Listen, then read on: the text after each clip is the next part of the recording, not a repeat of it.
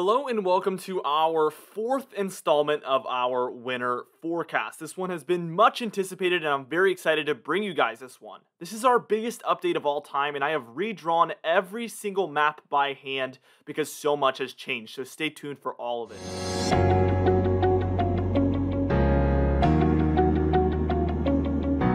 As always, be sure to smash that like button, leave a comment down below, and subscribe for more weather-related content.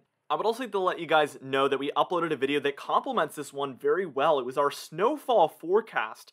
All right, and I'm going to put that on the top right corner of your screen today, and you can click that and watch it before you watch this one or after. It's up to you, but it complements it very nicely, and I highly recommend it. A lot of you enjoyed that one. Uh, if you like this video, by the way, and leave a comment down below with your location, I am going to respond to as many of those comments as possible with a custom forecast that goes into more detail for you guys with your specific location in mind. So be sure to smash that like button and leave that comment down below with your location, and I will get back to as many of you as possible. Let's get straight into things. And first things first, we're taking a look here at our exciting precipitation forecast. I will let you guys know what has changed and hasn't changed since our most recent winter forecast as well, by the way.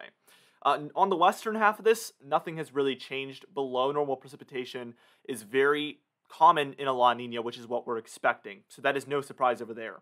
But we've gone ahead and extended this through Texas, Oklahoma, and all the way, as you can see, to the East Coast, Florida, Georgia, South Carolina, and even well up into North Carolina as well. This is mostly due to that La Nina seeming more and more likely. We typically see less storminess in these regions in a La Nina and also some warmer than normal conditions. We'll get into that in a little bit. We also have a second layer of this below normal precipitation expected for California, Nevada, Utah, Arizona, and even New Mexico, where things will be even drier. This typical, typically for this area, there's a huge ridge, and it doesn't allow for any precipitation to head into this region uh, in a La Nina, and that is again what we are expecting. Let's go ahead and promptly move into that above average precipitation region though. And we have two of them, but the first one here is in the northwest. We can see that there is a storm track that will likely head in through Washington and Oregon and extend all the way into the north central United States and the North Plains. This is an area where typically in a La Nina we see that storminess head. In an El Nino, it just goes further south into California, Nevada, and Arizona.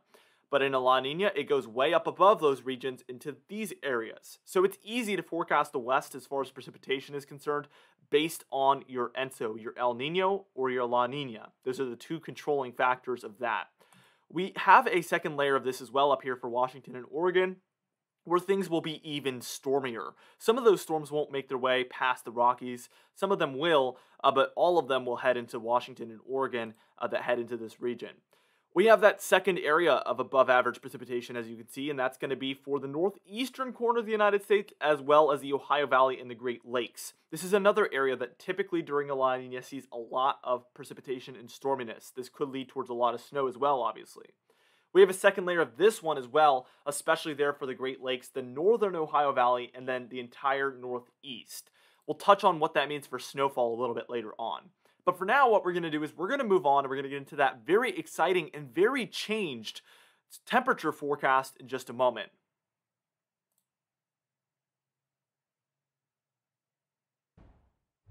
All right, now here we are taking a look at those below normal temperature anomalies. And in the northwest there, we do have some below normal temperatures expected. That is mostly due to that storminess we're expecting for that region. If you see more clouds and more rain than normal, we do see some cooler temperatures because of that, and I do expect that in this case. The areas in the east, it's going to be mostly due actually to a trough being set up over the east. So that is two different types of cold. Both are equally cold. I hope that makes sense. It's like the causation is what's different, not the actual result although it can be colder in that kind of more eastern region there in the trough region, uh, because that's coming more from the Arctic regions as opposed to just the cloudiness and the storminess.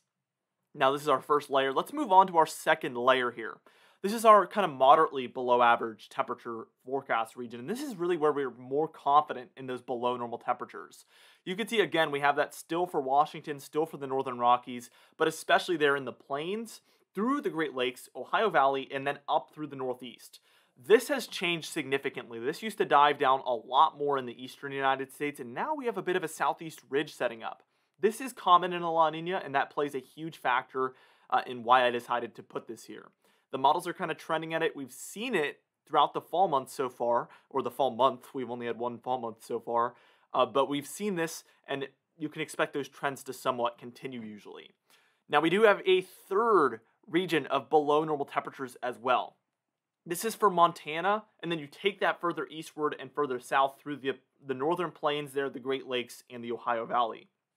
Now, Montana is mostly included because if you look at the past 20 years, a vast majority of the winters during the past 20 years have featured far below normal temperatures for this region, Montana specifically. It's an anomaly in itself, and it's very interesting to me, uh, but it's almost a safe bet to forecast far below normal temperatures for the state of Montana because kind of nowadays like 7 times out of 10 that is what's going to happen regardless of what you think. So that is a safe bet. So I included that. Otherwise I would maybe not even extend it that far west, but that's just a safe bet. I I mean likely they're going to feature below normal temperatures. It's it's super interesting how it works. But yes, these areas are the the most confident for me that they will be below normal temperatures and it could be even colder than the surrounding regions. For above normal temperatures, we have two separate regions. One here in the southwest, as you can see, where again, that ridge is going to set up, and that's what's going to cause the precipitation to go around. You can almost picture where the ridge is going to set up and where the trough is going to set up, in my opinion, based on just looking at this. Trough in the east, ridge in the southwest. Easy enough, right? We have a moderately above average temperature region as well there in the southwest, and that is just where I'm more confident in those above average temperatures.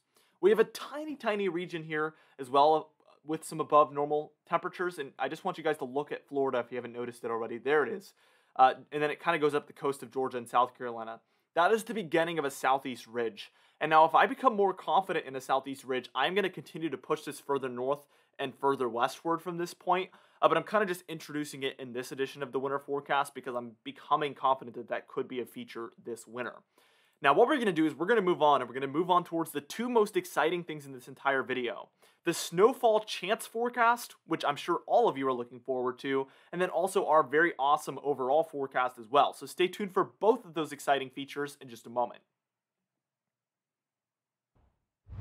Now, let's get straight into that snowfall chance forecast. And how that works, I need to just explain it a little bit, is this is just below normal or above normal snowfall chance.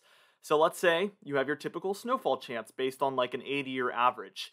We're going to go over if you will have a below normal chance of snowfall based on that average or above normal. So starting out with the below normal, we can see for the southwest, the south central, and the southeast. You might notice this correlates directly with that precipitation and temperature forecast. And that's all it is. It's a combination of the temperature and the precipitation forecast, and we take that, mix it up, and come up with if that's going to lead to above normal or below normal snowfall chance. It won't be perfect, but it's going to be your best bet at kind of knowing what kind of odds you're looking at.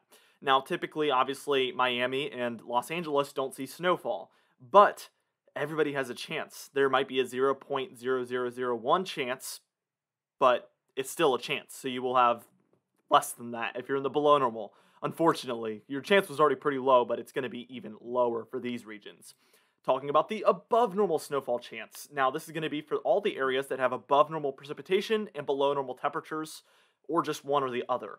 A lot of these regions just have one or the other, but we actually have a second shade, which is where we're more confident because these two regions actually feature below normal temperatures combined with above normal precipitation. That's going to be like the secret sauce for above normal snowfall chance the above normal precipitation, below normal temperature combination leads to an even further above normal snowfall chance. And that's for the Pacific Northwest and the northeastern corner of the country, obviously.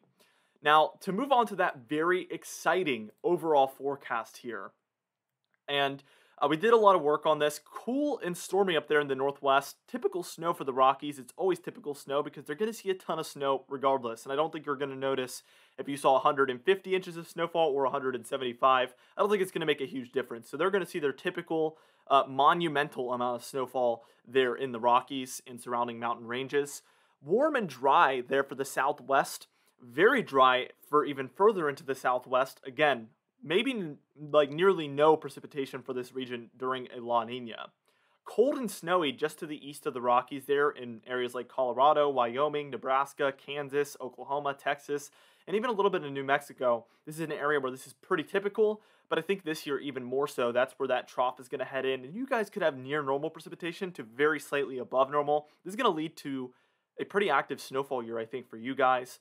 Up above, polar vortex. Again, we talked about how that Arctic air is going to make its way into the central and eastern United States, and I think it's going to be especially potent for this polar vortex region.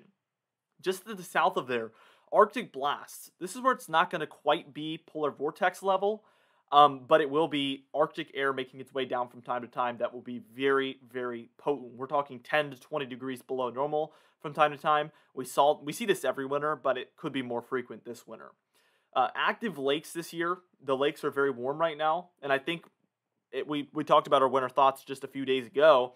Uh, cold air could make its way in pretty early in November and December. If you haven't seen that video already, it is up on my channel. I uploaded it on Tuesday, September 28th, so go look for it.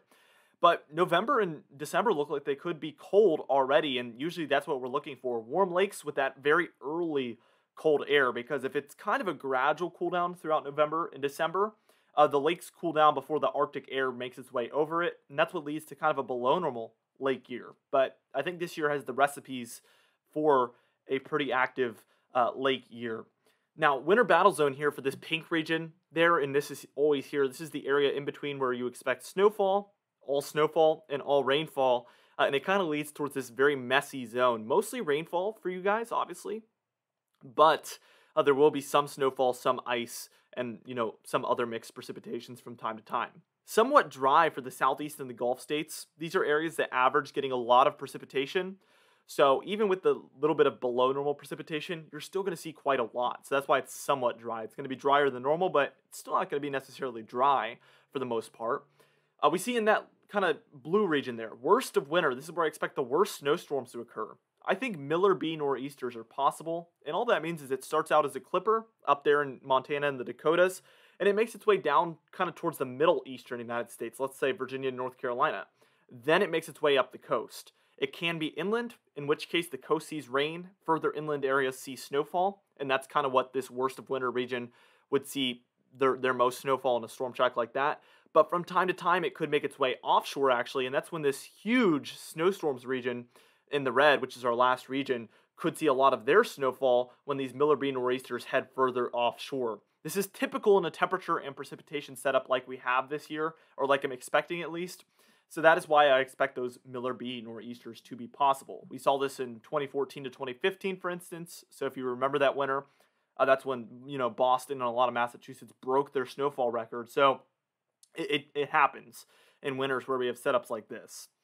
Anyway, this has been very exciting for me. I love making these for you guys. I hope you enjoyed it. This has again been our biggest update probably of all time because usually what I do is I, I draw the maps in my first winter forecast and then throughout the year I just alter that towards my thoughts. But this one, I think there's been so many huge changes in the expectations that I decided to redraw the entire thing from scratch. So we've kind of um, started over in a way. There is some similarities, so we're not completely thinking the opposite of what we were thinking before or anything, but we've gone ahead and just made the biggest update ever, and I'm very, very excited about that. I hope you guys enjoyed it. Uh, be sure to like the video, leave a comment down, down below, and subscribe. Again, if you like it and leave a comment down below, uh, I'll be, you know, responding to some of those with a custom forecast as well. For today's confidence tab, considering we're still in the late, late, late portion of September, almost early October, we're still at a 3 out of 6, which is where our confidence tab was in the last one as well. Uh, but we are still kind of in that kind of long range towards winter, so our confidence is still kind of medium. Uh, but once we head towards late November, we are going to have a finalized winter forecast that will likely look similar to this, but it will have some finalized updates that are going to be super accurate by that point because that's when winter will be in the short to medium range. We'll have a much better picture of what to expect.